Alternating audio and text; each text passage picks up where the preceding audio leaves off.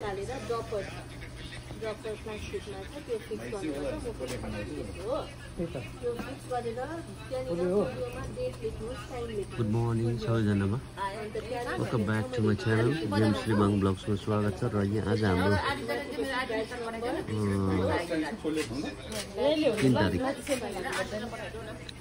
तिन तारिकको हामी लोधोमाबाट बिचमा यहाँनिर पल्स पोलियो टिकाकरण है यहाँ तिन तारिकदेखि हो तपाईँले। जिरोदेखि भन्नाले? जिरो टु सिक्स इयर्स भन्नाले जन्मेको है। पाँच वर्षसम्मको सबै नानीहरूलाई दुई टोपा पोलियोको टिका खुवाएर देशलाई पोलियो मुक्त गराउनुहोस् भन्ने जुन चाहिँ यो अभियान छ है जिल्ला संस्था एवं परिवार कल्याण विभागबाट।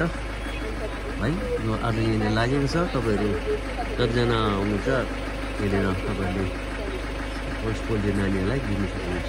Thank you